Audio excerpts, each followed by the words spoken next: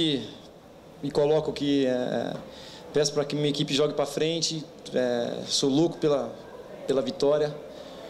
Esses dias minha esposa chamou minha atenção dizendo que, que eu brincava com a minha filha de seis anos, brincava com qualquer tipo de jogo com ela e no final é, eu deixava ela ganhar, deixava, deixava, no final eu ia lá e ganhava dela. Eu não tinha me dado conta disso.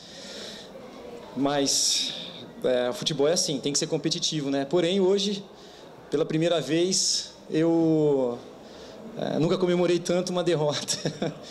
claro, é, em virtude da classificação. Né? Eu penso que a gente começou é, no primeiro tempo, é, a gente sabia que o São Bento provavelmente viria para o jogo, né? subiria a linha de marcação, coisa que não fez lá em, lá em Sorocaba, em virtude até de, de, de só ter o resultado e, e o resultado com diferença de gols para que pudesse classificar. Né? A gente já tinha discutido isso com os meninos e, infelizmente a gente tomou um gol muito rápido. Né? Ah, numa falha, eh, numa bobeira, numa desatenção, a gente acabou tomando gol.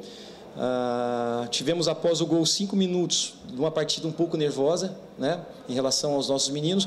Porém, depois a gente conseguiu colocar a bola no chão, a gente conseguiu trabalhar, a gente conseguiu colocar o nosso jogo, né, colocar o nosso ritmo de trabalho. E aí começamos a, a, a criar oportunidades.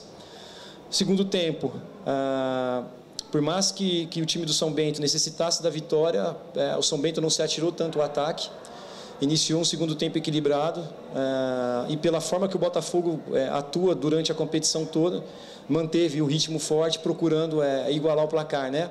Infelizmente a gente é, pecou em algumas finalizações. Eu penso que é, um resultado de 1 a 1 ou 2 a 1 para a gente não seria, não teria problema, né? Não seria um resultado injusto. Né? Porém, é, a gente sabia que é, é, o resultado nos dava classificação e, e, no finalzinho da partida eles colocaram mais atacantes, adiantaram bastante a equipe uh, e a gente soube se defender. Bom, agora vem aí o Independente na, na semifinal. Todo mundo, pelo menos a grande maioria, estava esperando o Rio Branco, né, Ferreira, que havia vencido o primeiro jogo por 3 a 0 o Independente devolveu esses 3 a 0. Queria que você falasse do próximo adversário do Botafogo. Olha, a gente tem notado um equilíbrio muito grande em relação à, competição desde o início, né? É, você vê aí, é, equipes que estavam em primeiro lugar e acabou ficando na última rodada de fora, na fase de classificação, então tem um equilíbrio muito grande. O Independente demonstrou um poder de reação grande, não é fácil você tirar 3 a 0, então é, a gente tem que tomar um cuidado enorme. A gente é, é o momento agora de relaxar, estudar bastante, né? a, a equipe adversária para que a gente possa fazer aí um bom jogo é, é, lá em Limeira. Sabendo da dificuldade que é em relação às dimensões de campo, né, de gramado, pois existe essa particularidade lá. Porém, nessa, nesse, nessa situação de semifinal, os jogos vão ser dessa forma, jogos apertados, jogos na qual a gente não vai poder erro. É, pensando em ir para a final, a gente tem que fazer partidas e partidas é, é corretas, concretas, sem erros, para que a gente possa conseguir a classificação. E você meio que não esperava a escalação do Gueguel não lá no campo, mas um pouco antes. É, eu queria que você falasse do início do Botafogo, porque eu senti que a defesa estava um pouco desarrumada, principalmente com as bolas que chegavam no Gueguel, ele conseguia dominar, e assim até saiu o gol. Então, ele dominando e tocando para trás. Como é que foi essa conversa ali nos 10 primeiros minutos? A gente tinha informação, a gente já conhecia né, o Gueguel jogando, a gente tinha informação de que ele ficaria, voltaria para o futebol, a treinar somente em dezembro, né? essa era a informação que a gente tinha.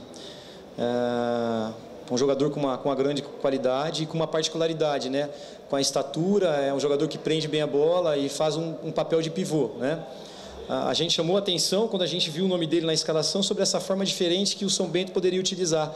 E aí é que eu digo que a gente iniciou a partida com um pouquinho desatento em relação a essa forma de atuar do São Bento que seria diferente. Tinha sido passado para eles que ele seria utilizado como, como uma referência, que ele iria aprender a bola, ajeitando um jogador técnico, né, por mais que utilize o corpo. E a gente teve, durante a partida, mesmo tendo orientado, ter que é, consertar algumas situações em relação a essa, essa primeira bola com ele, né? A partir do, do, do, décimo minuto a gente encaixou um pouco mais, principalmente não só o homem que faz a disputa de bola com ele, mas principalmente os jogadores que estão do lado, né?